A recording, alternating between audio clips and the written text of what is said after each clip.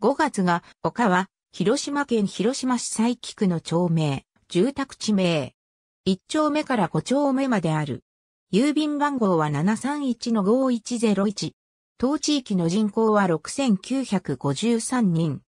5月が丘は広島市中心部から北西へ約 6km、同市佐伯区の東端に位置する住宅団地。団地内は戸建て住宅が立ち並び、団地西部に近隣公園という名の公園、団地東部に広島市立5月が丘小学校、広島市立5月が丘中学校がある。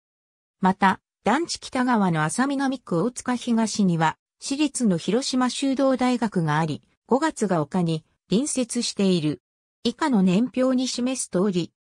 1972年3月10日、土地区画整理事業の施行認可が取得され、同年3月15日に造成が開始される。1974年12月30日、一般売り出しの入居が始まる。横川駅前、恋、五日市駅北口方面とは、広電バスの運行するバスで結ばれている。西広島駅方面とは、HD 西広島の運行するバスでも結ばれている。広島高速交通広島新交通1号線の広域公園前駅から徒歩10分から30分。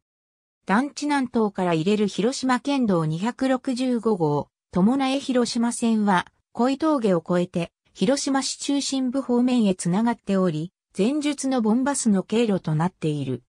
団地西側から、広島県道290号、原田五日市線が西へ走っており、南北に走る広島県道71号、広島行き線と団地出入口付近で交わっている。ありがとうございます。